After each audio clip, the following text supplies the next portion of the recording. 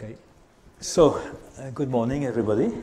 And um, days lectures will be, I mean, there will be two lectures, roughly one hour, with, I guess, a short break in between, if I may do so. And uh, I've changed slightly the title because I will tell you in a moment what I want to focus on. Um, I will be mostly telling you about hard probes of uh, QCD matter.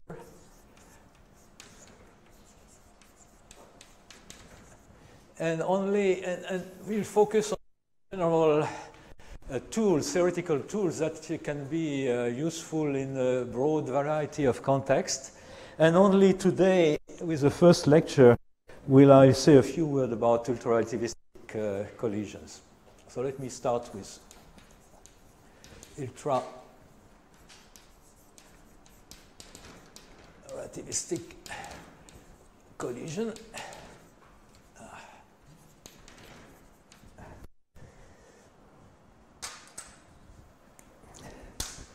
So why, why are we uh, doing experiments uh, with heavy ions that we collide in, uh, in various places in the world, mostly nowadays at uh, the relativistic heavy ion collider at uh, so-called RHIC in uh, Brookhaven National Lab, and since a few years at the Large Hadron Collider at CERN, at much higher energies.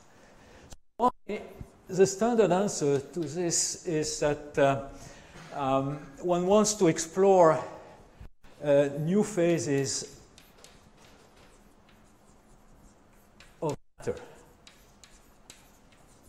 And this has been going on for many years.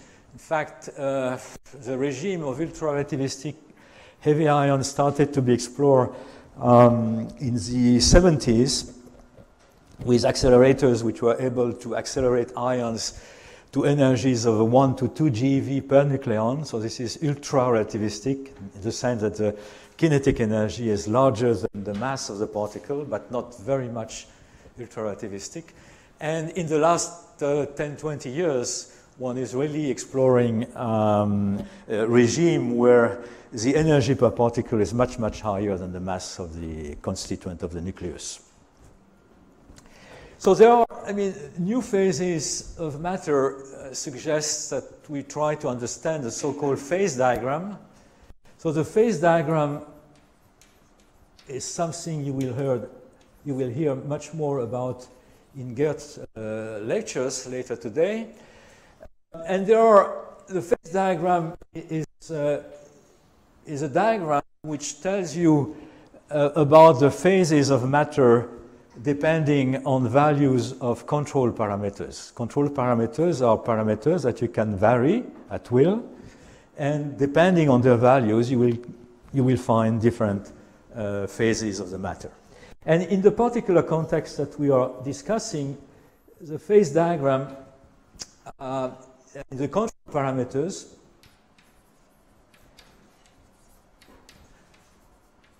at least for what I'm going to, to talk about, uh, are the temperature T and the chemical potential associated to baryon uh, conservation. So typically one draws a diagram with two axes. Vertical axis is a temperature and horizontal axis is a baryon chemical potential. And what we, the picture we have at, at the moment of this phase diagram is that there is a regime with a crossover between different phases, which I draw by uh, this uh, dotted line here. Then there is a line possibly of first order phase transition. I don't end this line because all this is uh, at the moment essentially speculation. And at high density, which corresponds to large values of the chemical potential, we anticipate that uh, uh, a phase where the analog of BCS superconductivity uh, develop, namely the pairing of quarks with different colors. And uh, in, in this region of low temperature, low density, we have hadrons. As you probably all know, uh, one of the main focus of present uh, research is to explore uh, the possibility to reach the so-called quark-gluon plasma, where the main constituent, the main degrees of freedom of the matter in this regime are the quarks and gluons of QCD.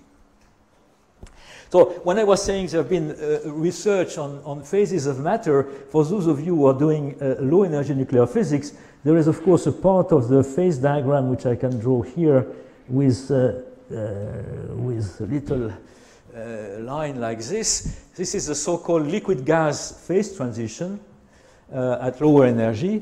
it comes about from the following fact that um, interaction between nucleon are attractive at reasonably short distance, intermediate to short distance, and very repulsive at, uh, at short distance. They are very much like van der Waals forces in ordinary uh, uh, fluids, and uh, such systems undergo a, a, phase transition of the same type as a transition which, uh, uh, which occurs between um, a liquid and a gas when you increase the temperature. And as you know, uh, in such uh, a liquid gas system, there is a critical point where you can no longer uh, distinguish between the gas and, and, and the liquid, and this is what is indicated here. So there is much, uh, I mean, I think Gert will talk much more about that that I have time to do. There is much activity to try to locate this potential critical endpoint here in the phase diagram and of course a lot of activities to try to understand and control by theoretical means what is going on in this whole plane of, uh, of temperature and chemical potential. And of course, I have talked about, I have mentioned two control parameters. You can think, uh, you can contemplate the possibility of adding extra one, like a strangeness chemical potential, uh, magnetic field, uh, and, and other things, which to some extent can be controlled. So these parameters, when I say these are control parameters, they are indeed uh, quantities which can be uh, changed by changing the, uh, the, the, the, energy of the collision.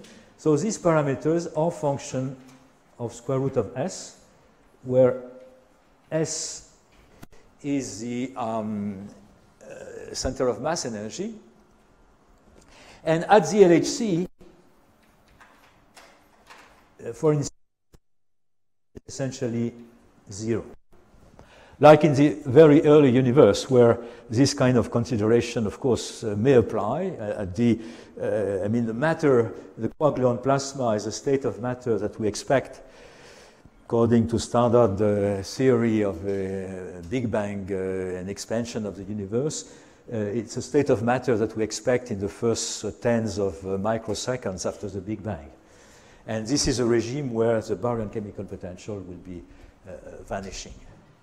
I should also mention that uh, uh, this phase diagram has another importance for uh, exploration of object compact stars, a neutron star, which may involve in their formation uh, region of the phase diagram at high density and not too high temperature, but uh, in the recent um, observation of the merging of neutron star, at the moment of merging uh, before forming a black hole, there are states of matter with high density and temperature in the 100 MeV range that could be, that could be reached. So this is another fascinating uh, uh, field which is just uh, emerging uh, nowadays and which you will hear about more in the lecture by Sanjay uh, Reddy uh, next week. So, having said that, I want to emphasize one important issue is that we are dealing with non-equilibrium system. I mean, the description of heavy ion is complicated in many respects. You see, we would like to get information about um, thermodynamic properties, which are basically properties of matter in equilibrium. The dream will be to be able to make a big box with quark gluon plasma inside at sufficiently high temperature and observe how uh, by compressing or raising the temperature uh, the state of matter will change. We, we cannot unfortunately do that. Now, um, that has several, uh, several implications. Uh, even though the system is not in equilibrium, there is evidence from experiment that some form of equilibrium is reached during the collision. There are evidence, I mean, I don't want to go too much into the details of the phenomenology, but there are, there are good evidence for, from uh, uh, particle, count, just counting particles, uh, they are extremely well um, accounted for by uh, statistical distribution with the temperature and the chemical potential. Um, this is also used by, um, uh, let's say, equilibrium concept. are used in theoretical description. Alors, uh, um, there are two reasons for, for that. One is that it simplifies the life tremendously if you are able to discuss. And, and let, let, me, let me specify what I have in mind. This is at the basis, for example, of hydrodynamic or hydrodynamics, which is uh, very successful in describing the behavior of matter produced in heavy ion collisions. Now, hydrodynamics assumes that the matter is locally in, in, in equilibrium. So it simplifies, it's much simpler than having to deal with a full general off equilibrium problem. And also, it connects directly to thermodynamics properties that we are interested in. Because what enters the equation for, um, uh, for fluid dynamics are inform I mean, there are local conservation of energy and momentum, and what enters there as a basic ingredient is a so-called equation of state. And equation of state is directly connected to what we want to learn about. Equation of state, speed of sound, and more generally transport coefficient that I will uh, discuss more in a, in, in a moment. So we have to keep in mind that we are dealing with uh, uh, a non-equilibrium system. A priori, the description is complicated. However, uh, perhaps uh, we have evidence that reasonable approximation using equilibrium concept or nearly near to equilibrium concept could be uh, useful. Now, how do we probe the matter? Before I say that, let me mention that there are various stages.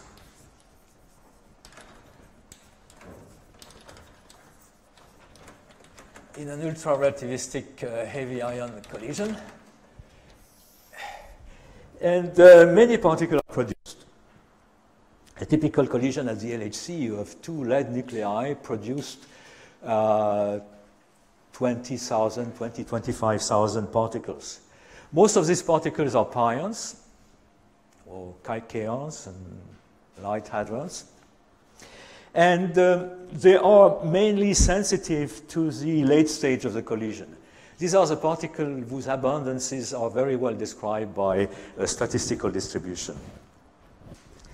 So there, there are, uh, there are other types of particles. So, uh, so Various stages, yes.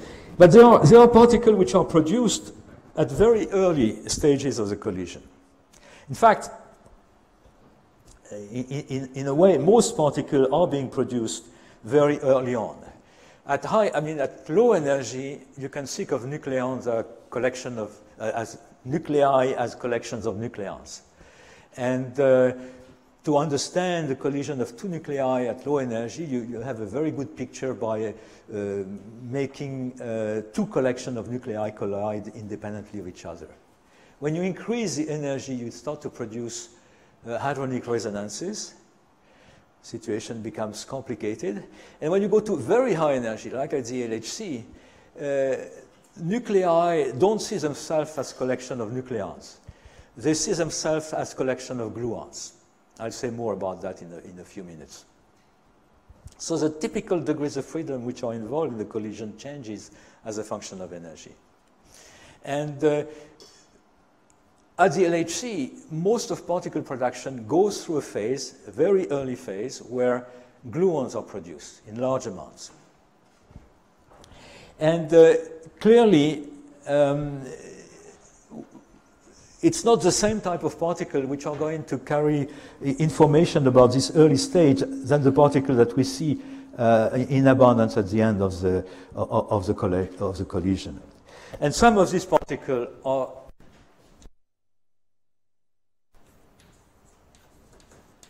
They are produced early and, uh, well, they are produced early. Typical example, uh, for instance, the W and Z bosons, heavy quarks, uh, quarkonia, namely bound states of heavy quarks, and, and, others, I mean, hard photons, etc., etc. And these hard probes is what is going to occupy us, in particular heavy quarks and quarkonia, in the, in the following lectures. But let me continue by saying a few uh, general remarks of, uh, about hard probes. Um, yes, they are produced early and uh, um, their production, and that's important, can be calculated. This is because they are produced at short, on short time and space-time scale, at short distance and on short time. They are hard because they, they are involving high energy, uh, where collision, where, where the interaction strengths are, are, are, small.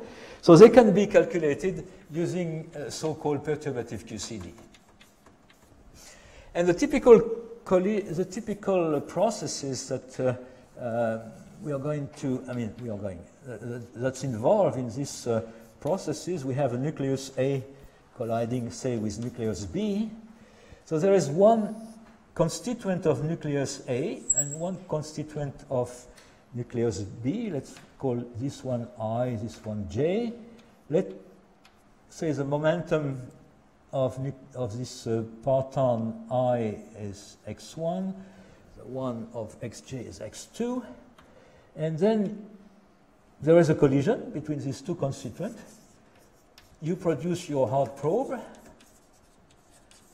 plus anything else, and this can be calculated because the cross-section, because the factorization theorem, it says a cross-section to produce hard probe with transverse momentum uh, PT in this collision will be typically, let me not put equal, the product of an object which I call Fi of x1 convoluted with another a similar object, fj for b of x2 convoluted with a cross-section ij going to h, the hard probe, uh, which can be a function of the kinematical variable x1, x2.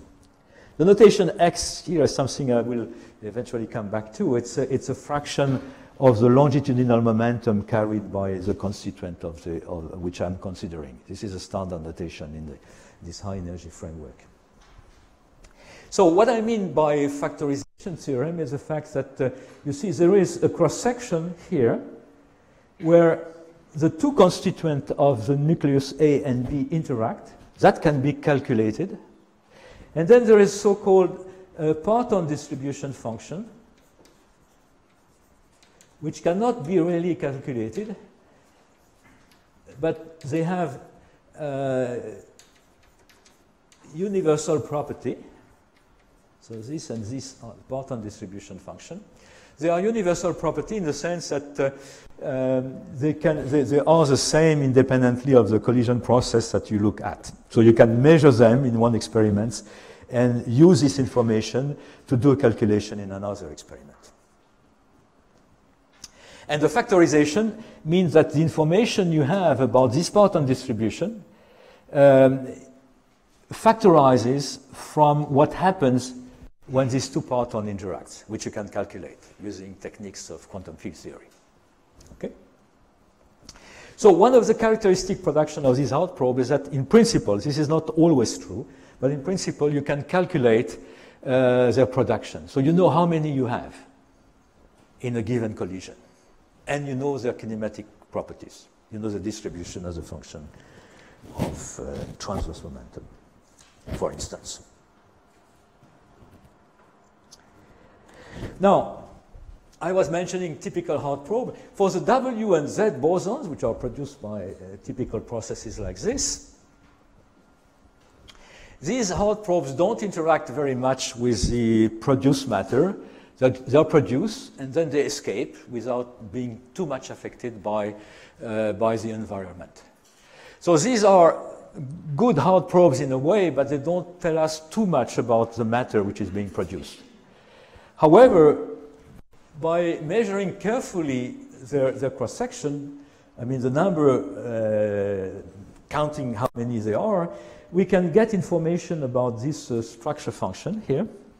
And in particular, we can get information about potential modification of this parton distribution in matter. Parton distribution, and we have many evidence for that, are different in a nucleus than for a free proton. The parton distribution of a nucleus is not simply the addition of the parton distribution of each individual nucleon. And that modification is something which is hard to calculate, but which can be measured by uh, considering this type of probes. But the main issue that we want to address, of course, is uh, it's not so much what happened with W and, and Z, but what happens with, for instance, heavy quark or quarkonia, which are strongly affected by their propagation through the medium. So these are produced very early on.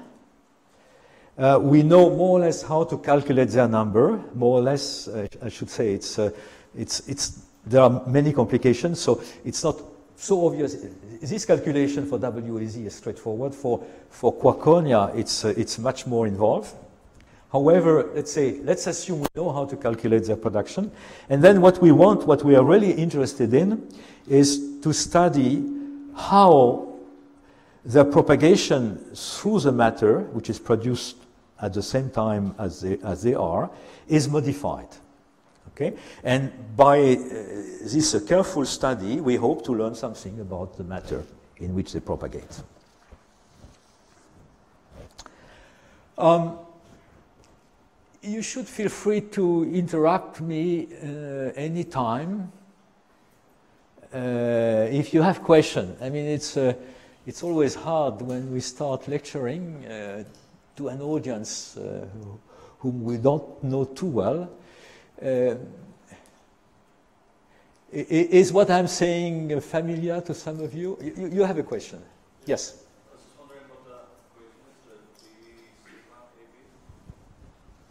Oh, yes, that's a cross section to produce. Uh, I'm sorry, I should have put to produce one of these hard probe, which I call H, uh, in a collision of nucleus A against nucleus B. It's, if you wish, it's a probability to produce in such a collision uh, one of these hard probes. And what I'm saying is that, grosso modo, it can be calculated because of this uh, factorization theorem that I was referring to. You know sort of how many collisions happen in a second and you know how many hard probes you get out. Yes. Um, in fact, there is a, a way to quantify that which is, I'm not going to talk too much about that, but this is so-called RAA of PT, which the experimentalists use to, um, to uh, quantify how much an actual nucleus nucleus collision differ from a collection of independent nucleon-nucleon collisions. So you can calculate, um, let's say, the number. Um, it's called RAA, but let's see. let me let me call the two nuclei A and B the same cross section here, uh, dpt, divided by the number of collision. That's the number of nucleon-nucleon collision, which you can estimate. Uh, it's not something you measure, but it's easy to estimate. Uh, multiplied by dnpp or nucleon-nucleon uh, dpt. So this can be, uh, this is easy to determine experimentally up to this number here, which is rather well under control. And what we find, for instance, for W and Z, that this ratio is close to 1. Okay? And for the other uh, particle, is much slower than 1. I mean, the heavy quark, quarkonia, which suggests a strong effect of the medium, what people refer to as final state interactions. Yes? So in this picture of factorization, once assumed a single scattering, but is there any case in which you can have multiple scatterings? Yes. Does this hold or? Uh, with, with some uh, modification, it, it, would hold. I mean, it's, a, it's a, what you are referring to is that multi-parton interaction. Um, and uh, that, there is absolutely no reason why that should not be important. And in fact, it is probably, it, it probably is at the LHC for some, some reaction. But the factorization is a little bit more tricky because um, here you, you just you just count on the probability to find one parton with a given characteristic in a nucleus. If you have two, then you have to start worrying about the correlation between these two partons. And that correlation function is not something we, don't, we, we know very well. And, do you expect yeah. this to perhaps go away as PT is very large? Or when do you expect this?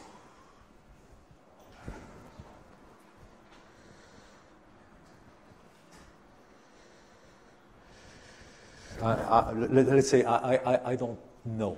I don't have some, I don't have this uh, fresh in my mind, so I, I, I don't know. I can think about it, but uh, uh, it's not obvious which way it goes at the moment. Okay. Yes.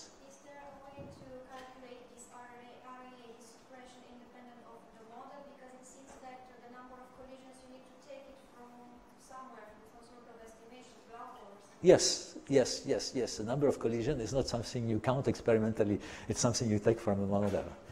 So Glauber model is, uh, is standard. Of course, there are many Glauber models, but basically, I mean, there is kind of a consensus among experimentalists to, uh, on this number. But, but this is not something you can uh, determine experimentally. Um, yeah. Yeah, is, uh, does this answer your question? okay. So let, let, let, me move on. I mean, you can, you can uh, raise your hand anytime. I mean, it's, uh, it's good for me that I hear what kind of question you have in order to, uh, to adjust.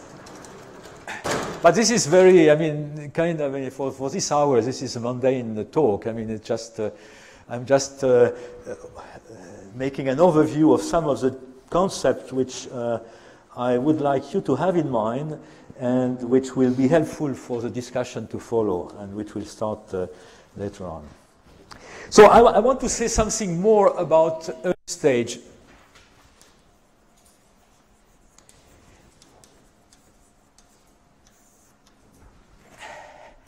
And uh, the reason I want to do that is to introduce two important concepts. One is the saturation momentum,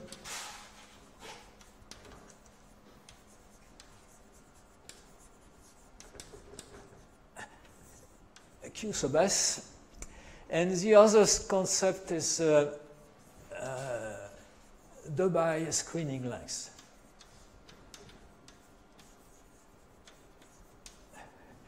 So this is why why has this to do with early stage? Well, there is no genuine uh, theory of the early stage, but some theoretical construct uh, which, um, Uh, which build on the idea that uh, indeed initially you have these two nuclei which approach each other, as I was saying earlier, they don't see nucleon. I mean, each, each nucleus doesn't see the nucleon in the other one. They just see a, a, a beam of gluons, which are the constituent of the nucleons in each of the nuclei. But they overlap in a, in a complicated fashion, so you just see gluons coming in front of each other. These gluons have various momenta, and uh, the low momentum modes are highly occupied. And I will say more about that uh, later in the lectures.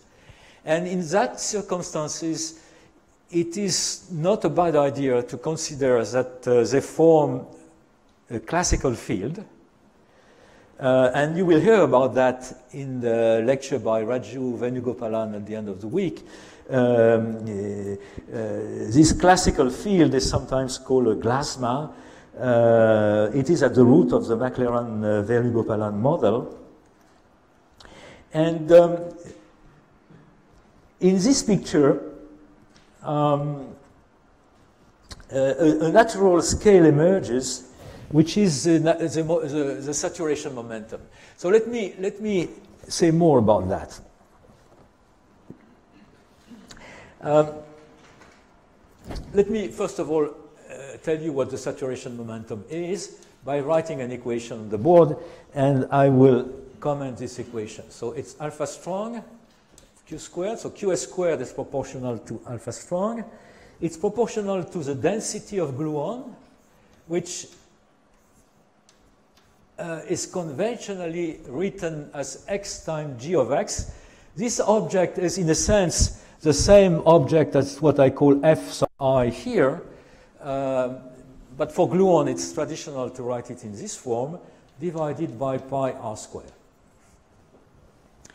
So I will uh, tell you how you get there in a, in, a, in a second, but let me try to explain why there is this particular scale by drawing a diagram. It's again kind of a phase diagram where the control parameter here are the log of q squared over lambda qcd squared and the log of 1 over x. Um, these variable x and q squared, they are variables which are natural in, uh, in deep inelastic scattering. Deep inelastic scattering is uh, is a measurement that helps you to determine the, um, uh, the wave function, if you wish, of a proton in terms of its constituent by shooting an electron, which will exchange a, a, a virtual photon with one of the charged particles, namely the quarks. And the q squared here is a measure of the virtuality of, the, of this exchange photon. X is so uh, x is a variable which is uh, related to the fraction of momentum carried by, by the proton. So as x decreases, um, you are probing constituent of the proton which carry a smaller and smaller value of this momentum. Now, what is important to understand is that the number of constituent grows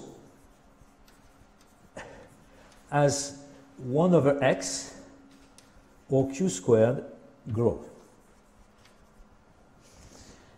Um, I can draw a little cartoon. Here, this is a proton with, let's say, three quark at relatively low values of q squared. If I increase q squared, what happens is that, why, first of all, why, why does the number grow? The number grows because a gluon can split into two gluons. And each of these two gluons can split into two other gluons. So when you increase q squared, you are looking in the transverse plane of the proton. Imagine a proton going very fast in one direction. You increase the resolution in transverse area at which you are looking at the proton. And if you increase the resolution, you see that here, if you have a resolution which is that big, you will see only one constituent. If you have a resolution which is this big, you will see two. So as you increase the resolution with which you probe the proton, you will increase the number of constituents. But q squared is also a typical, if you think of uh, uh, q squared as somehow measuring a wavelength, 1 over q squared is the size, or 1 over square root of q squared, is the size, the transverse size of the particle. So you increase the number, you decrease the size, and this is a picture you get. That's called, I mean, this is, this is governed by so-called DGLAP uh, evolution for Dokshitzer, Gribov, Lipatov, Altarelli, Parisi. We are the first to, to, to, to uh, formalize all this. And then when you increase x for the same reason, um, when you decrease x, you increase 1 over x. And it's the same mechanism here that you increase. Uh, You. Uh, um, you, you, decrease the energy carried by each individual constituent, so you're looking at constituents which carry a smaller and smaller fraction of the energy. So again, that is an increase. But now, if you go in this direction at fixed q squared, here is at fixed x, you increase the number of constituents, but you don't change their size. So you see, you, you reach a regime where uh, in the transverse plane, the, the constituent entirely covers the area of the proton. And that's a regime which we call saturation. And obviously, there is a boundary between this uh, dilute regime and this saturated regime. And that's determined by what we call qs squared, which is a function of x. Now, this formula here, how can we get it without too much effort?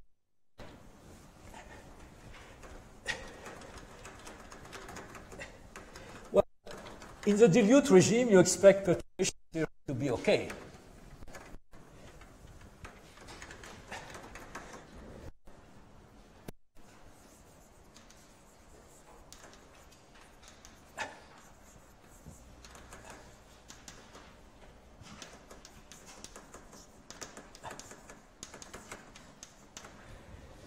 Now, what is perturbation theory? In gauge theory, perturbation theory uh, amounts to, to compare momenta or derivative uh, with and the strength of the gauge potential. Okay, you have covariant derivatives. And perturbation theory means that the, free motion, which is governed by, by gradients, is dominant compared to the interaction, which is g times a. I'm not worried about gauge invariant issues and things like this, which are the delights of theoreticians. I mean, just uh, using a crude argument. So, I want to compare a situation. I, I want to, to, to, to find when perturbation theory stops to make sense. Let me take a squared here. So it will stop to make sense when the typical momentum in the transverse direction, which I call q squared, of the order of the gradient squared, is of order g squared, a squared, and let me take the average, so that's the fluctuation of the field, and we will be talking a lot about fluctuation of fields in the, in the following lectures. And this is what? This is alpha squared. Uh, this is alpha, alpha strong. G squared is alpha strong, up to factor 4 pi. And what is the fluctuation of the gluon field? The fluctuation of the gluon field is up to a number uh, which I will fix in a second, uh, is just the gluon density. It's just x g of x and q squared. And now a squared, a is an operator which, is, which has the same dimension as a derivative. So it's 1 over some length, and the only length you have, or the only area you have in this game is the transverse area of the proton. And now you see, this condition here is just a condition which a perturbative description of the system stops to make sense. So really, this condition here is a condition where perturbation theory, which is okay in this regime of, of dilute parton system, and which is at the basis of the so-called DGLAP equation, uh, stops to make uh, uh, stops to make sense. Actually, to be fair, I should have mentioned here that there is other names associated to this particular evolution in, in, in uh, at fixed q squared, which is BFKL, which I guess those of you who are in the field have certainly heard about. So this is QS, but let me say more about because that will be important for, for the rest of the lecture. Uh, at saturation,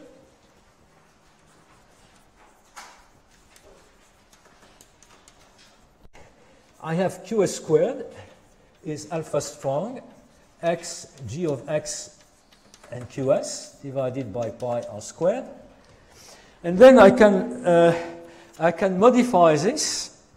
I can rewrite this equation by saying that uh, x, g of x and qs divided by uh, pi r squared times q squared 1 over alpha strong. Now, you see, this quantity here I can regard as a phase space occupation number. See, this ratio xg of x divided by pi r squared is the number of gluon per unit area in the transverse plane. And 1 over q squared is just the area is gluon.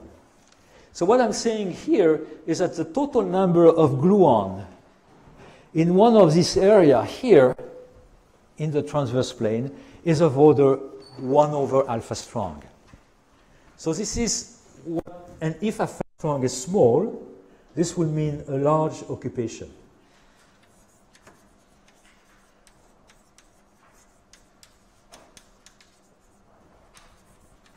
of soft mode. This is, by soft modes, I mean uh, mode with with transverse momenta which are less than QS. And that's one characteristic aspect of the saturation regime, and that's why uh, one talks about classical field, because when the modes, the soft modes, are, are over-occupied uh, by a, a, a, a, strength of order 1 over alpha, uh, usually we can do uh, pretty well with classical approximation. There is one other aspect that I want to mention. I all this will be discussed in much more detail by uh, Raju in his lectures, but I will need that to make connections uh, at a later stage. Uh, the other remark I want to make is that xga over uh, xga, I said earlier that the distribution function for a nucleus is not the sum of the distribution function for individual nucleon, but that's nevertheless approximately true. So xga is approximately equal to a times xg for protons. Okay, so xga over pi r squared is, since r is, is r is a to the one third. So this is of order a uh, to the one third, and that qs a. Uh, qs for, for a squared. So that means that if you have a big nucleus, you increase a little bit. a to the one third is not a very rapidly growing function, but you increase um, you increase the value of qs And that's part of the motivation for uh, doing uh, deep inelastic experiments on, the, um, on nuclei that such experiments will be done uh, in the future, near future, in at least in the US, in the electron ion collider, which is going to be built in uh, Brookhaven. Um, and um, part of the motivation is coming from this consideration that uh, by using nuclei, we can reach larger values of QS, or say differently, we can explore smaller values of, uh, of the X. Um, okay. The last things I wanted to emphasize is that you see this equation here uh, suggests that alpha strong in this equation is a function of q squared. Now I should put an s here because this is a self-consistent equation. but you see, if the solution of this equation is large, then alpha strong is small. So saturation is a regime which can be, in principle, if QS is sufficiently large, uh, described by weak coupling techniques. Now, you should be careful here. Weak coupling doesn't imply perturbation theory. And in fact, it is a non-perturbative weak coupling situation. Uh, it's non-perturbative because uh, we have a number of particles present. So it's one of these typical systems in many-body physics that uh, even though uh, the coupling may be very, very small, you may have strong uh, effect of interaction because many, many particles contribute coherently to the effect.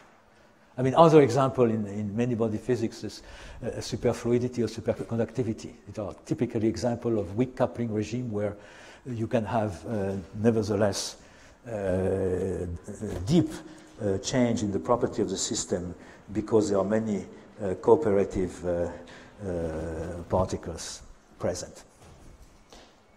Okay, so this was all I wanted to say for QS. And now the second uh, important scale that I wanted to have is the Debye scale. So this is so this is a phase. It is assuming that there is this phase of gluon uh, of gluonic matter at the beginning of the collision.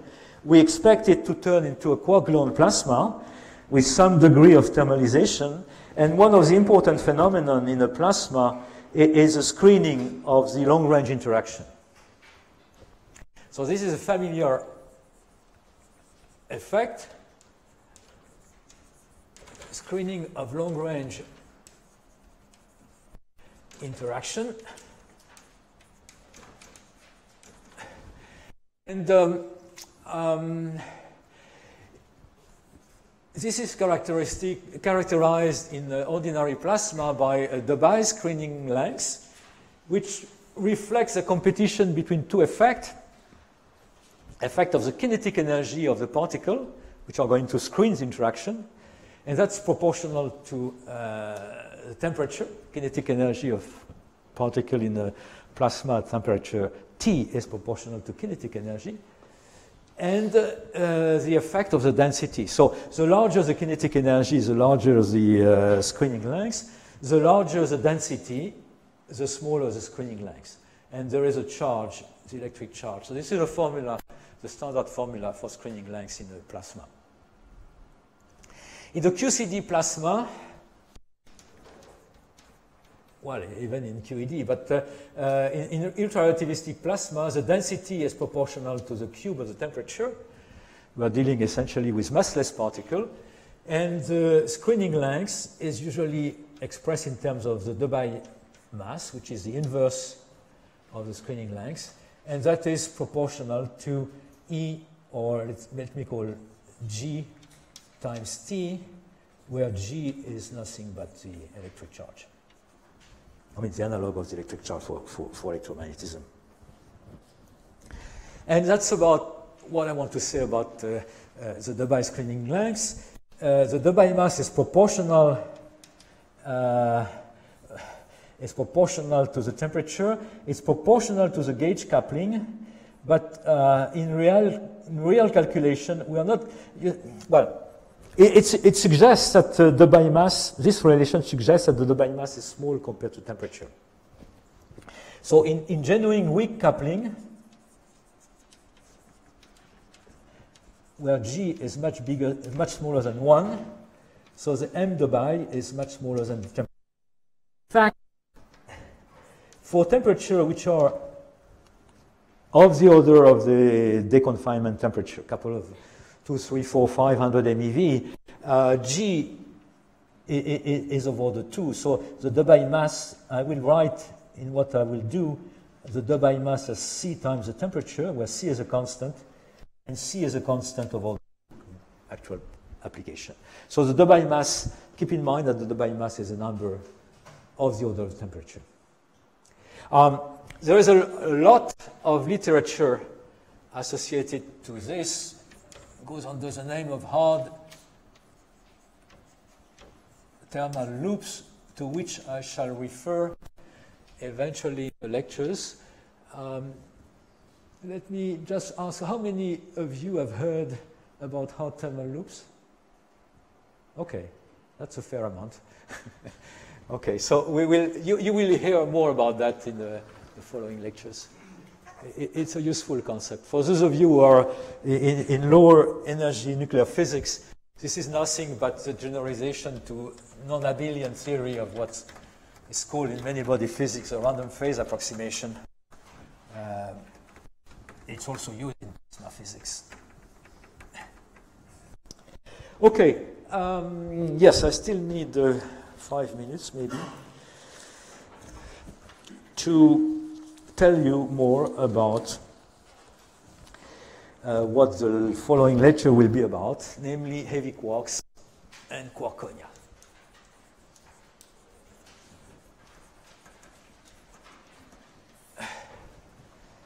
You're still with me or? Yeah? Okay. Um, so heavy quarks, as I said, these are particles, these are typical hard probes. They are produced early in the plasma or in the collision. Their number is conserved. That is to say, if you produce uh, 10 at the beginning of a collision, uh, there will remain 10 at the end. Of course, they may, uh, their life will depend on many things, and they may form bound states. I will talk about that later.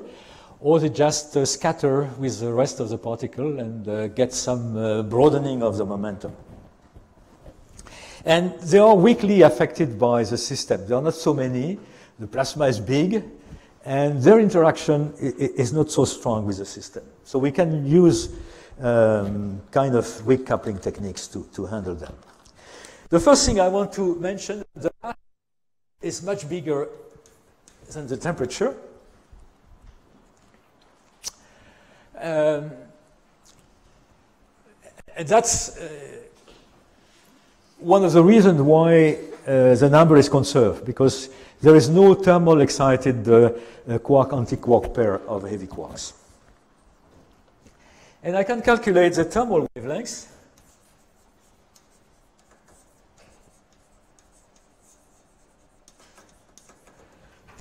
Length is, uh, uh, is 1 over the typical momentum. Now the momentum of a, a non-relativistic particle, yeah, they are relativistic. I will I mean, it's a self-consistent argument. I will show that in a, in a second. The momentum for a non-relativistic particle is m times the velocity. Well, that's not even approximate. This is equal. And mv the order of temperature.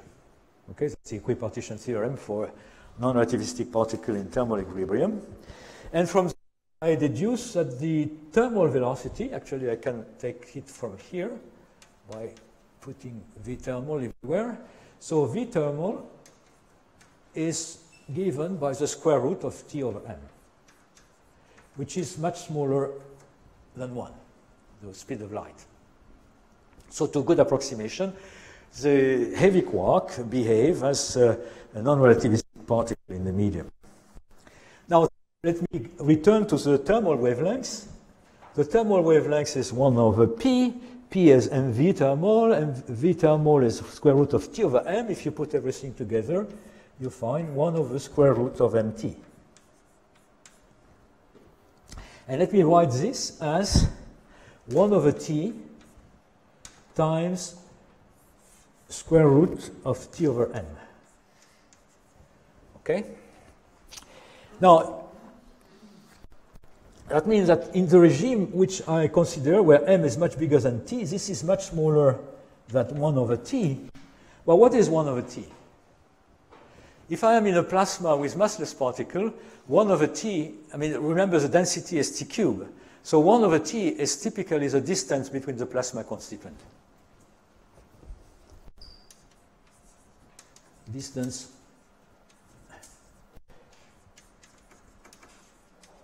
between plasma constituent.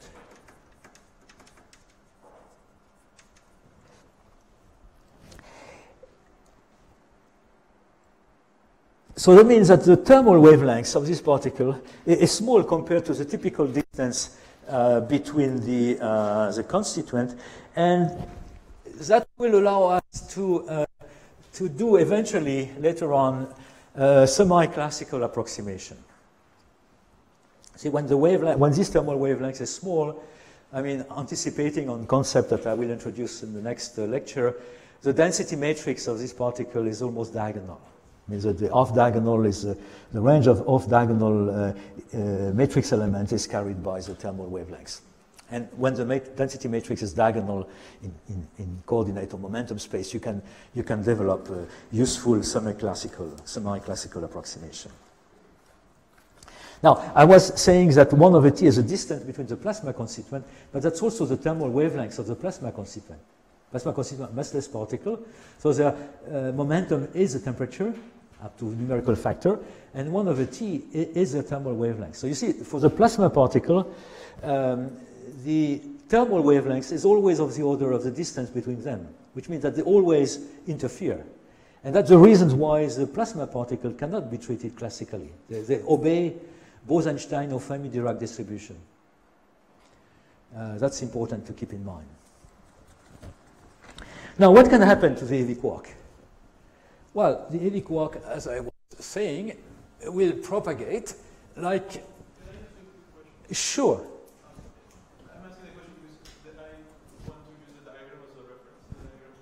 The diagram I just drew, uh, erased? Ah, here, yes? So, um, in DIS, it's very clear what Q square is and what 1 over x is. Uh, but when you refer to heavy ion conditions, perhaps I can see 1 over x as related to the rapidity of the particles produced. But what, what would be the transverse uh, scale, uh, momentum scale? Is that the, the KT? That, that will be the transverse momentum, yes, of the, of the gluon.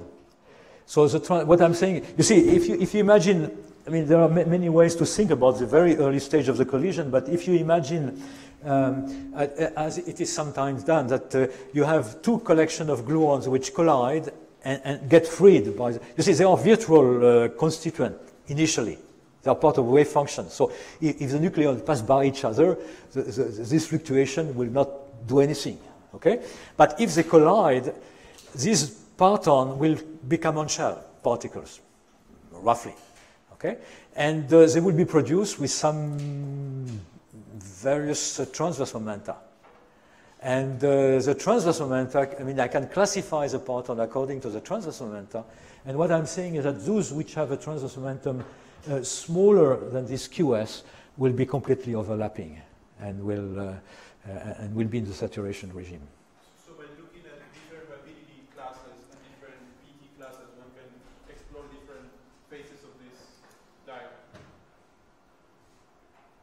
Yes, in principle, yes. In principle, yes. And there are there are measurements in which you can. Uh, uh, this has not been done yet, as far as I know, uh, for nucleus-nucleus collision. But in proton nucleus, you can choose a kinematic so that you probe different region of X of the of the nucleus. Okay. Yes. Um, but this was nothing. Uh, this was a, a parenthesis. Um, yes, so I can erase now. So I, wa- I want to say. Uh,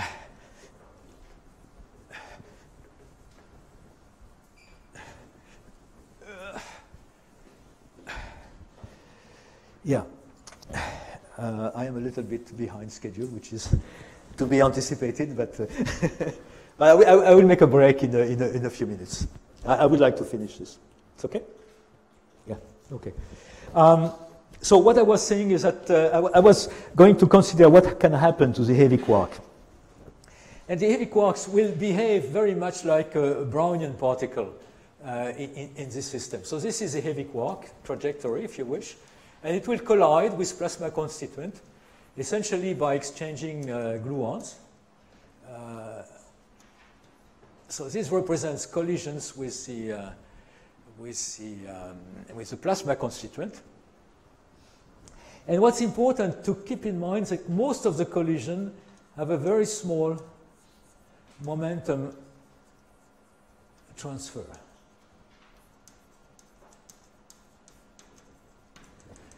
Um, in other words, uh, if you want to deflect the trajectory of the heavy quark by a significant amount, you need to do many, many collisions. So this is a regime where um, you can treat the effect of collision by uh, using Fokker-Planck uh, or Langevin equations, which are essentially uh, two equivalent uh, ways to, uh, to phrase uh, what is going on. And let me just give you uh, one equation, one example of a Langevin equation. Langevin equation is an equation which contains, uh, which describe how the velocity of a particle evolves. There is a term proportional to the velocity, which is commonly called a drag term. And then there is a noise term.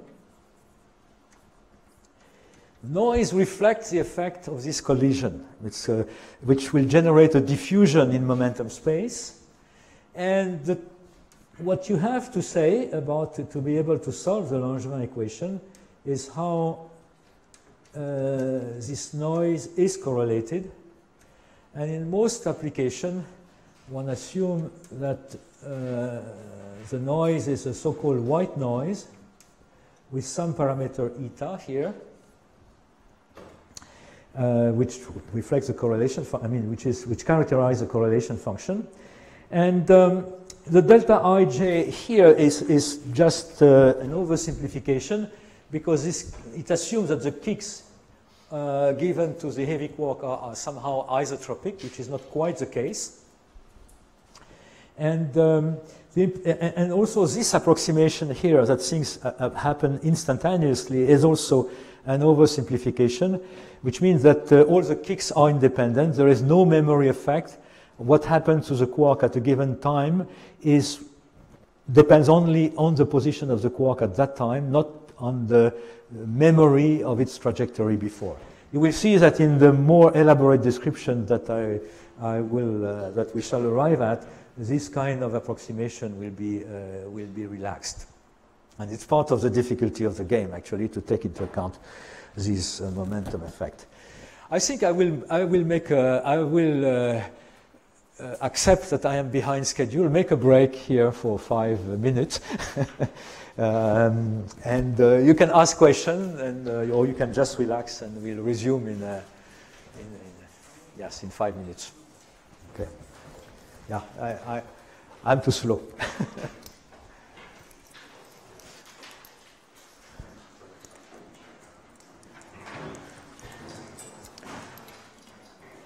if some of you don't dare to ask questions publicly, you can come here and.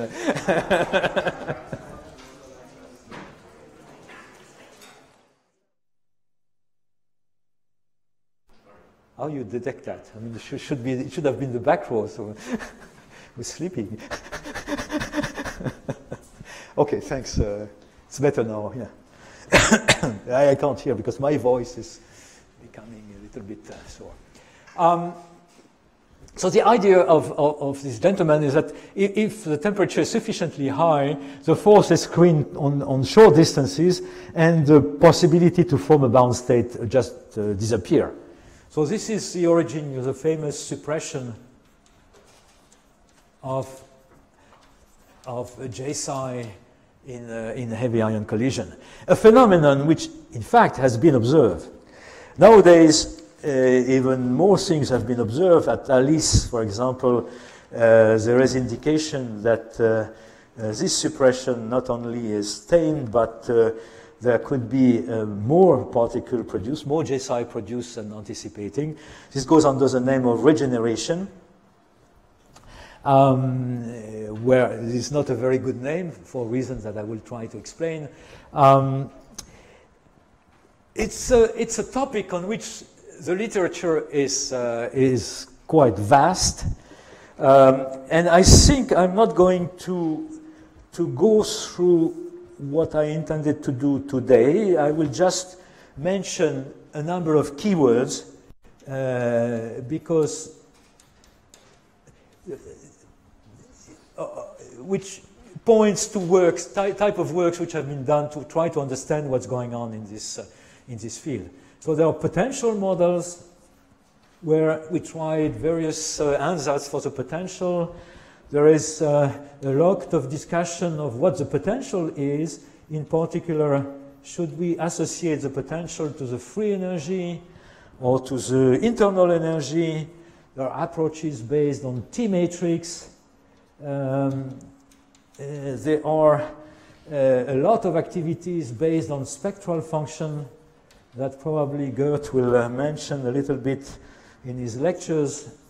Um, uh, spectral functions are interesting because they, uh, they carry the, the, the, possibility to make contact with lattice calculation.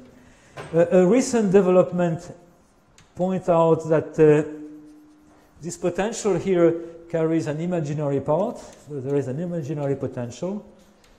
This is a very interesting development uh, which I will have much, much more to say. Uh, there is also approaches based on effective field theory, uh, in particular non-relativistic uh, QCD or non-relativistic potential QCD. Uh, and this is just a list of things which um, uh, which you can hear or read on, on this topic. Um, I will not, uh, uh, uh since this is one of the topics which I will discuss in more detail later on in the lectures, I will not go on now uh, more deeply into, into it. The, just to conclude this first part of the, this first lecture, I want to emphasize one aspect which will motivate uh, this development of the second lecture, that in all these cases which we have seen, whether it's heavy quark, the jets, or quarkonia, we are dealing with a small system which is immersed in an environment which is much bigger and much more complicated. Um, and there are a, bunch of techniques which have been developed in other contexts of physics, which goes under the name of open quantum system. And this is what I would like to discuss uh, with you in the rest of these lectures, with, of course, in mind uh, the specific application that I have been discussing uh, uh, today. But the techniques themselves are pretty general, and hopefully, even for those of you who are not uh, uh, specializing in this field, you can uh, benefit from them. So, with this, I will end lecture one and start lecture two. do you have questions at this point? So lecture two will be different style. Um, I will uh, start doing something concretely and, uh, uh, and abandon generalities and words. Okay. So if you have no question, I will just write. So this lecture two will be a, a general introduction to open quantum systems. Um, I will try to do as much as possible on the board. And I understand there will be tutorials, right? Uh, and Andrea, as a as volunteer, or, or where was officially designed as a tutor, but I, I don't know, uh, Andrea Berardo, yes. And I, I don't know how many uh, tutorials there will be, do you know? Two or three. Two or three. We'll decide at lunch, okay, so. But anyway, I mean, I, I somehow count on tutorials to uh, fill in some of the details I won't have time to, uh, to, uh, to discuss on the board. So, introduction to open quantum systems. The word open refers to the fact that uh, the system we consider um, is open to the outside. And uh, the, the spirit of, uh, of, the, uh, of this approach is to find effective theory.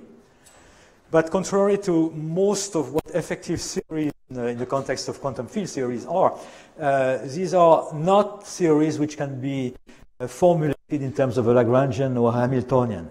And the reason for that is that the dynamics that they uh, propose to describe is, um, is not a Hamiltonian dynamics. It contains possibility of exchange of energy between the system and its environment, and uh, that leads to dissipation. And uh, we will have to think a little bit harder about entropy consideration um, and, and things like this. Um, so typically, um, the Hamiltonian, of course, the system as a whole has a description in terms of Hamiltonian. So the Hamiltonian will be, let me call the system Q, that will be typically the heavy quark. And I think of the heavy quark as a test particle, as I have uh, uh, already emphasized. It's a particle which can be identified in the total environment. It's distinct from the, from the constituent of the environment. Then I have the Hamiltonian for the environment, which I call HB. Excuse me. B comes from the fact that uh, most of the time the environment will be a thermal bath, like a gluon plasma, say, but it doesn't need to be. And then there will be an interaction between the system and the bath, which I call H1. And the notation are, uh, I hope, not confusing. So the HQ will be just the Hamiltonian of the heavy quarks that I have uh, uh, described before. Single heavy quark to simplify the discussion. So the Hamiltonian for the heavy quark is just the kinetic energy, p squared over 2m. Uh, the heavy quark will be considered as a non-relativistic particle, and I ignore about uh, relativistic correction here. The Hamiltonian for the bath, I don't specify at this stage. It can be complicated. It describes typically the, the quark plasma. So it's, it's, um, it's complicated, but as you will see uh, later, hopefully today, uh, I don't need the full knowledge about HB to, to make progress. And H1, H1 will be interaction between degrees of freedom of the uh, plasma and the heavy quark. And that I take to be of the form, so I put a minus sign here. It's conventional, I mean, there is nothing deep here. Um, but I write here an integral over x of the density of x times a zero of x. So let me comment about that. Um, so x is a 3 vector. So it's an integration of a space. And n of x, let me immediately say what I mean by n of x. n of x is the density of the heavy quark. So it's an operator. And in first quantization, which I'm going to be using, is just g, the charge, times um, x minus r. So I hope this is not confusing for you. This is an operator. This is a position operator. And I measure the density at point x with this delta function. So it just, this is a statement that the heavy quark, uh, in this language here, is localized at position x. And then at position x, it feels the field created by the plasma. And I'm going to assume that this field is, um, is uh, the Coulomb field. Um, this is easily generalized, but um, I am mostly interested in, um, in the situation where the heavy quark moves slowly in the system. And as you know, the magnetic interaction are proportional. I mean, they are current, current current interaction. They involve the velocity of the heavy quark. So compared to the Coulomb interaction, they are down by factor V over C squared. So I'm going to ignore magnetic interaction. Under these circumstances, the Hamiltonian is simply uh, given by, by this here. So just to be sure that you understand the notation, if I look at the matrix element of H1 in the representation R, this is just minus G times A0 of R. Okay?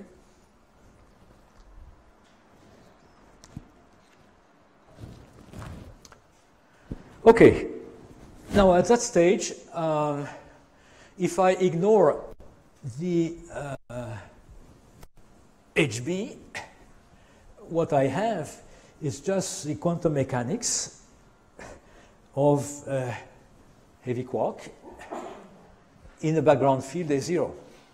Okay, so I couldn't. So if HB is equal to zero, then the dynamics can be uh, represented equivalently by a Schrodinger equation, h bar d by dt of psi is equal to minus h bar squared over m gradient squared uh, plus uh, g a0 of r times the function psi of r and t, right? I'm going to use Yeah, it depends whether, yeah, it's 2m. Thank you. yes, there is no reduced mass here. Thank you. Um, I am going to uh, go from, uh, I'm going to use different languages at the same time. So don't be confused. I'm saying the same thing in different fashion because sometimes one language is more convenient than the other. So here I'm using first quantization, here too, but I'm using explicitly Schrodinger equation. This is the same. Okay? So, what I want to do now is uh, introduce a tool to be able to handle the, um, uh, the Bass degrees of freedom. And to do that, I'm going to introduce a very useful object, which is called a density matrix. And the density matrix, I'm going to call it D. And that's the density matrix for the whole system at the moment. So D is a matrix which um, has the following property. If you think of a pure state, what's called a pure state, then D squared is equal to D, which means it's a projector, which means that D is essentially the projector of some particular quantum state psi. Now, the density matrix is really useful when we don't have a full information on the system. That is to say, um, we know that the states, uh, various eigenstates of the, of the total Hamiltonian, let me call psi n the eigenstate of the Hamiltonian H. Yes, we know that some of these eigenstates are occupied with some probability so, which means that we don't have full, the full quantum information that we could have but there is some statistical element involved, and the density matrix will be the sum over n of the probability Pn that the given state uh, is, let's say, occupied. Uh, and, and that will be the general form of a statistical density matrix. Um, we have also another, uh, a couple of other general uh, properties that uh, D is Hermitian. Well, that's obvious on this form here. And the trace of D is equal to 1, which implies that uh, the sum of the Pn, if the states are ortho orthonormal, is equal to 1.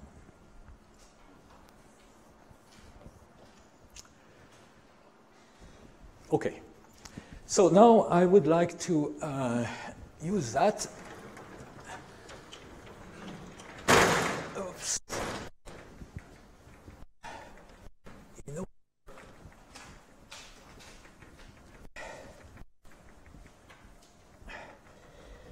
To uh, say something about the system. Um, one, one of the interesting uh, aspects of density matrix is that we can construct so-called reduce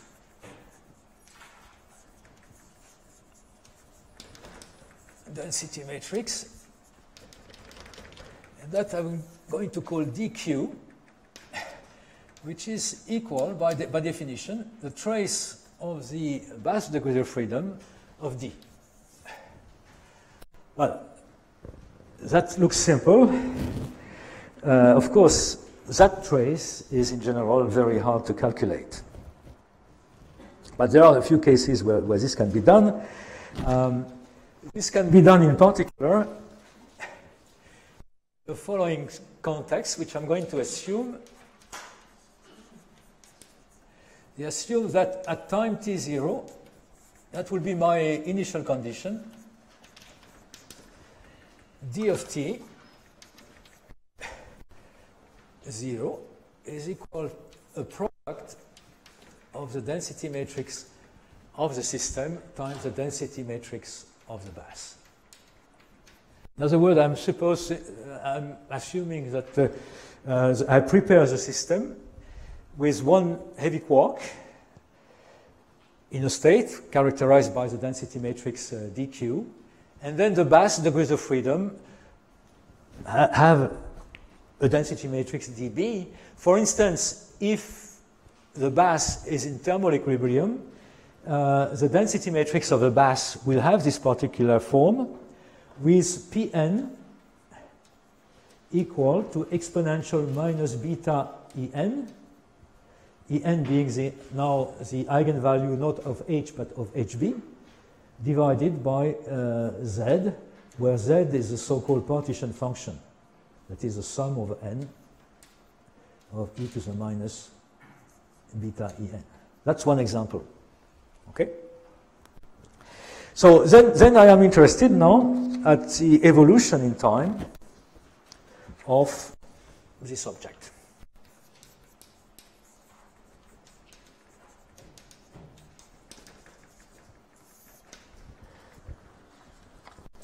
Well, to get the evolution in time, I'm, I'm going to, to, uh, to take shortcuts.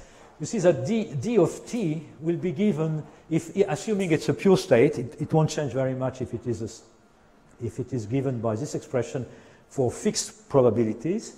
And this is what we are going to consider initially. So if I use this uh, uh, representation of d, you see that uh, d of t can be written in the following way. Uh, there will be a, a, an evolution operator which carries a state from t0 to t, the density matrix at time t0, and another evolution operator, u dagger of t and t0. If you wish, I, am just applying evolution operator on the left and on the right of this expression. And if the Pn are constant, uh, that holds also for a general statistical density matrix. And now, if, uh, if I remind you that uh, the evolution operator obeys the equation u of t and t0 is equal to h u of t and t0 with the condition that u of t0, t0 is equal to 1, then you can easily derive the following equation for the t of d of t is equal to h commutator with d of t. That's sometimes called the von Liouville-von Neumann equation for the density matrix. So, so far this is, uh, this is exact. And of course the initial condition is that d of t0 is known as d0 and d0 is, is, uh, is density matrix. Okay, so now I want to uh, formulate the kind of question that I am interested in um, using these uh, tools.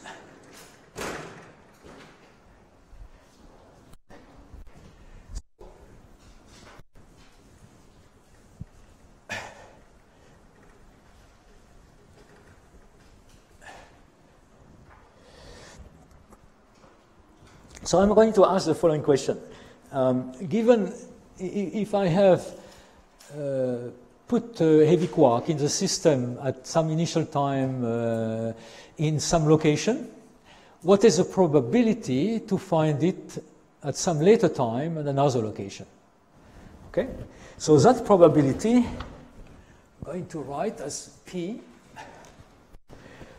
Location I'm going to call QF at final time Tf, Qi Ti, and that's a probability which I, which I just uh, discussed. Now, this probability is going to be equal to the amplitude to go from position QF um, with the bass in a state, uh, let's say n, and uh, I'm sorry, I'm sorry, from, from qi to qf, and the bass in an arbitrary state n. And uh, in between, there will be the evolution operator taking me from ti to tf, taking the whole system, quark plus bass, I want a probability to, so I square the amplitude, and I want to sum over all possible states of the bass, the final state, and average over the initial state of the bass, that is to say, sum over n with a probability Pn that uh, the particular state n is occupied in the bass. Okay? So again, if the bass is in thermal equilibrium, Pn is just a Boltzmann factor. Okay? But I can let it uh, be whatever I want. So now I claim that this can be rewritten in the following way, sum over m and n, okay, um, of uh, Pn and I'm going to just uh, open the squared here, QFM, U, TF, TI, QE, QIN, QIN, U dagger, TF, TI, uh, QFN. Right? So now I can uh, bring this PN here. And you see that this quantity here, sum over n of this uh, projector, is nothing but the uh, density, the initial density matrix. So I can rewrite this as sum of m of qf m u tf ti, the density matrix at time ti, u dagger tf ti QFM.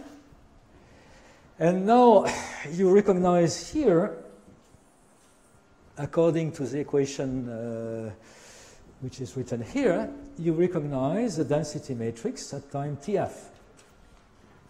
Taken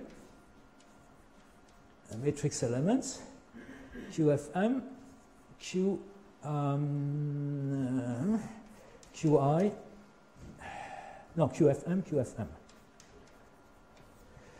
Sum over M. But what is sum over M of D? Uh, sum over M of D, uh, MDM. That is precisely the reduced density matrix of the system. This operation, sum over M, is precisely taking the trace of the full density matrix over the state of the bath. So this is what I called earlier, uh, let me write this explicitly, trace of the bath of D of TF QI. And that is nothing but QF dq of TF QF. Okay? So is, is, that, is that clear for everybody? It's important that we fix the. I should not stay here. It's important that we fix uh, the, uh, the basics before we go too much further. Okay, this is a simple uh, calculation that uh, all of you should be able to do. But you see, it, it tells you one thing. It tells you that uh, this is important to really um, pay attention to the question we are asking. If we want to answer. And you will see later on, uh, very shortly, that I will give you another question with a different answer. But if I have a probability that given that the system, it is a quark, is prepared at location qi at time ti, that I find it at location qf at time tf, this probability is given by the matrix element of the system density matrix in the state qf. So that's the first question I can ask. And now I want to ask another question, which will bring in another important quantity, which you may or may not recognize immediately.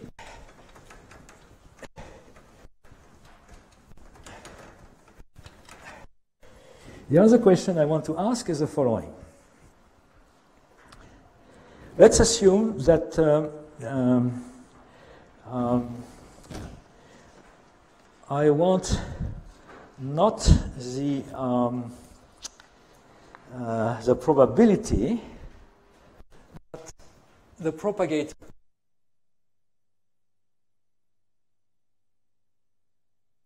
Quotation mark, because propagators is a name that I'm going to use for related objects, uh, not always the same, but uh,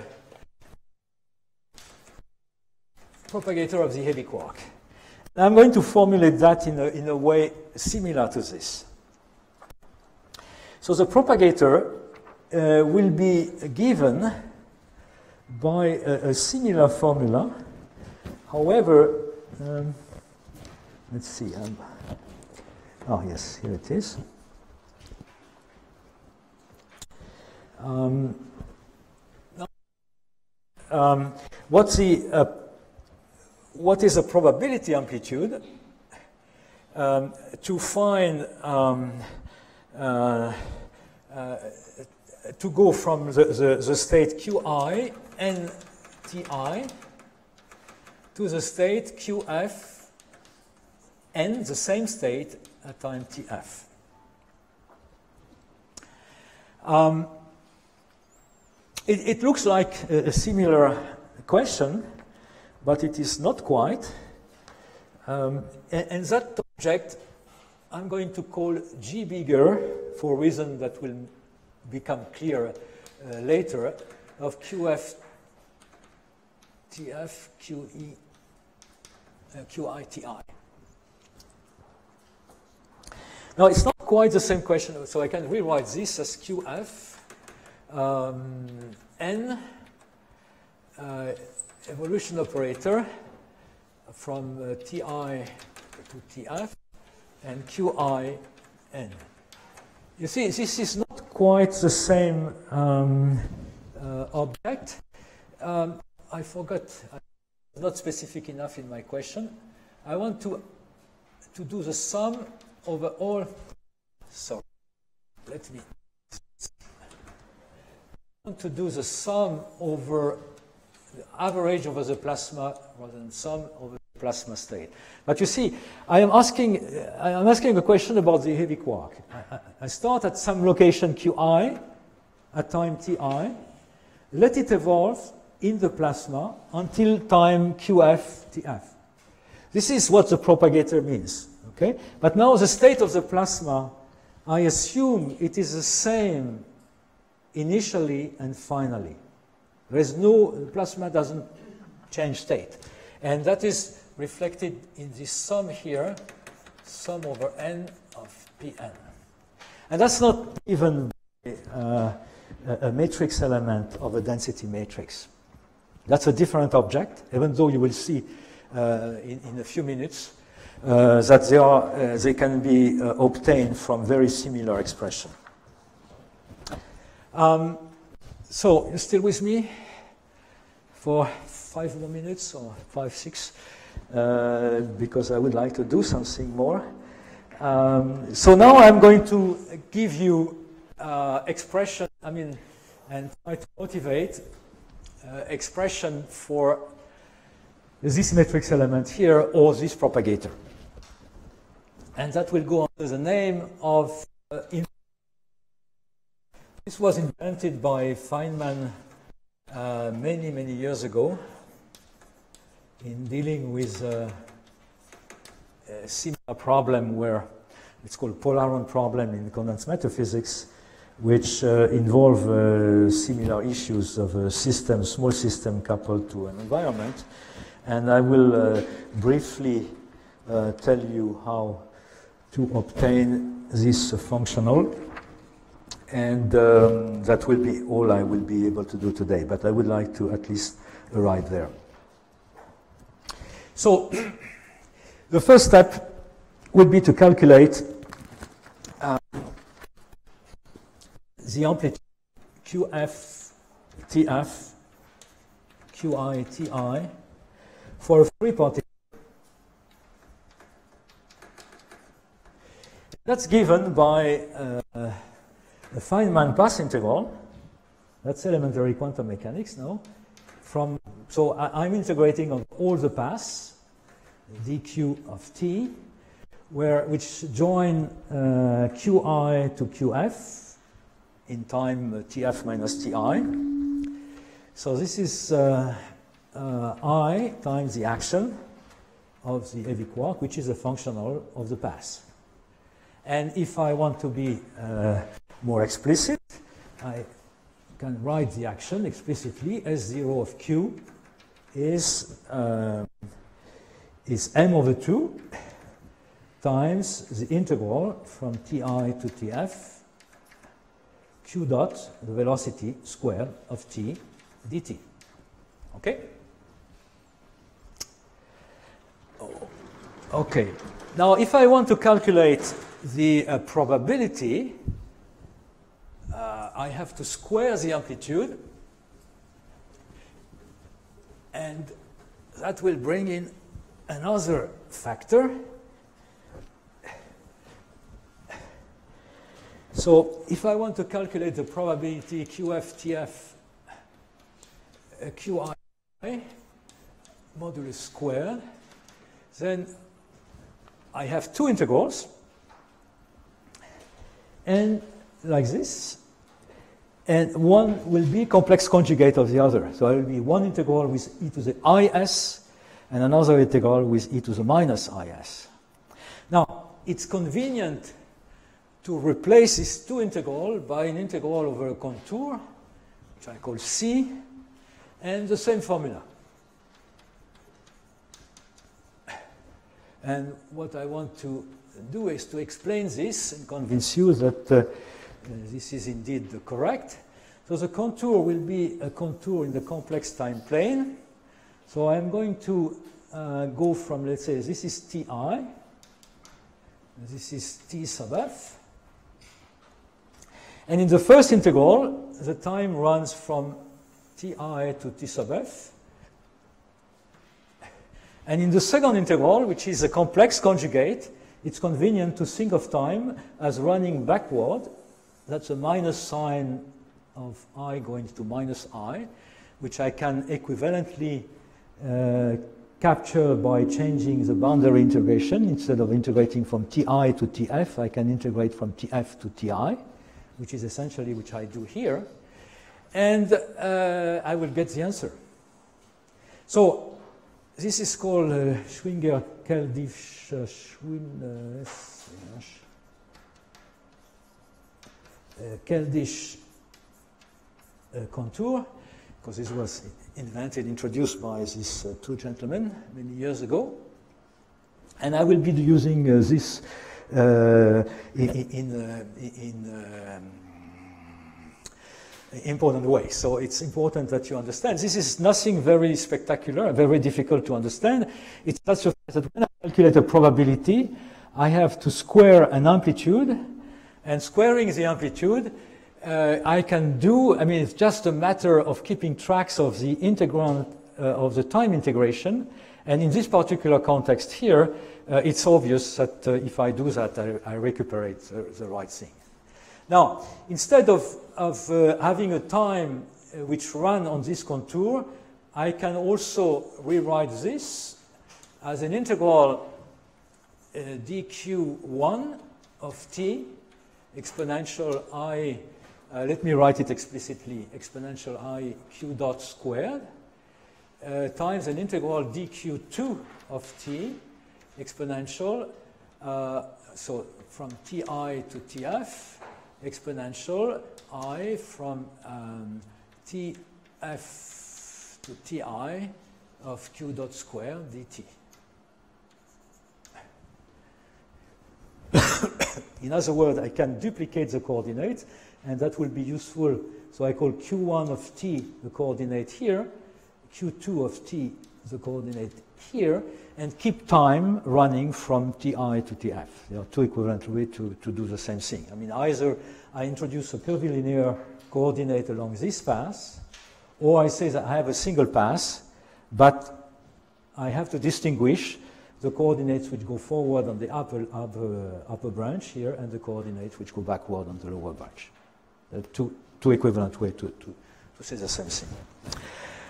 Um, I will just give you the result because of the time uh, constraint. But this is important that you understand this. Uh, uh, if you see this for the first time, it can be a bit confusing. It's actually, uh, what I want to insist is that actually very simple, and uh, we're going to make good use of that. Um, So let me give you the result. I don't have time to, uh, uh, to really prove it today, but we shall do that tomorrow.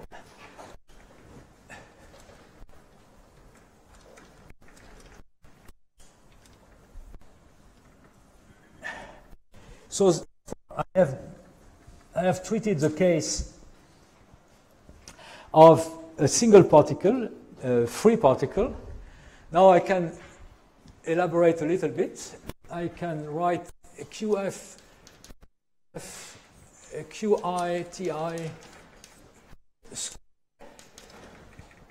A particle, so for the Hamiltonian, H equal HQ plus, that will be integral over the contour, dq of t exponential uh, i s0 plus uh, S1, and S1 is just uh, the integral of um, H1 over X.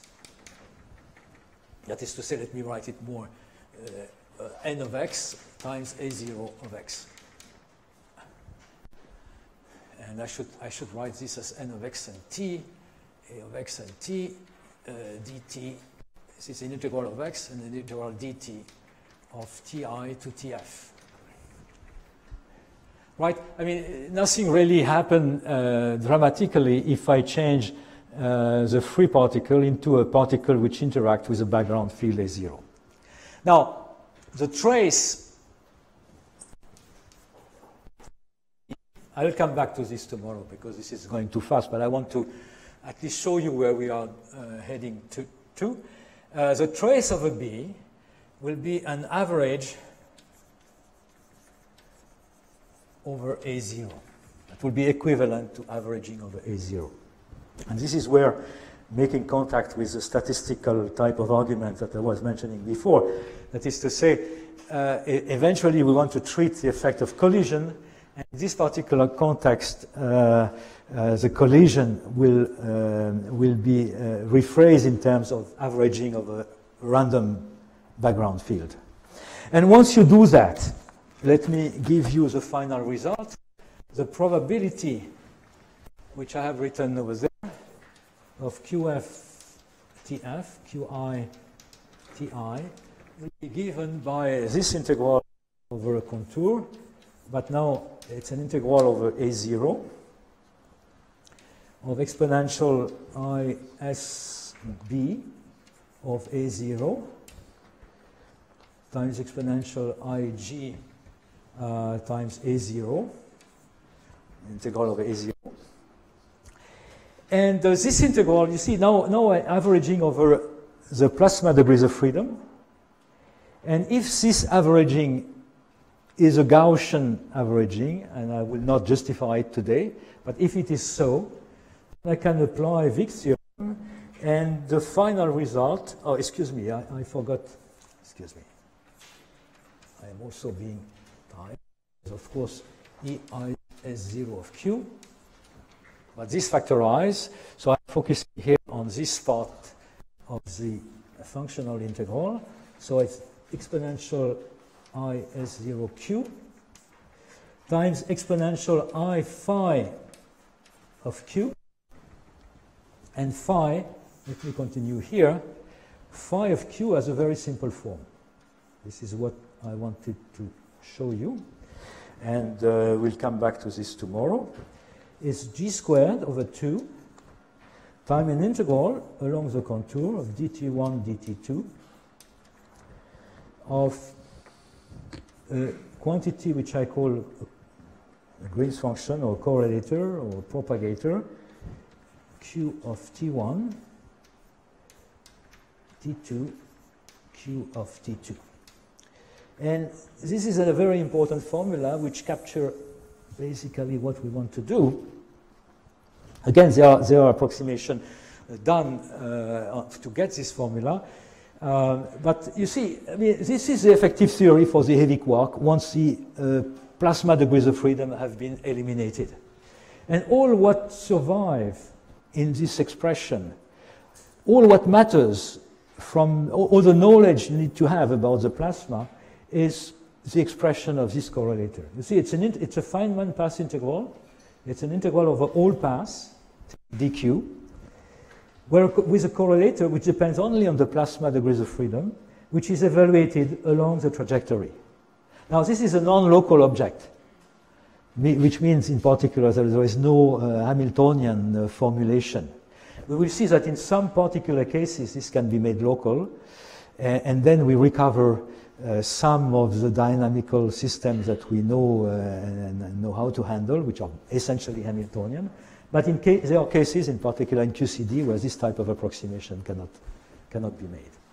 Okay, this is going too fast, but um, we'll return to this tomorrow, and, um, and, and, perhaps in one of the tutorials, uh, Andrea will show you how to calculate explicitly this functional uh, for, for electrodynamics for a pair of charged particle.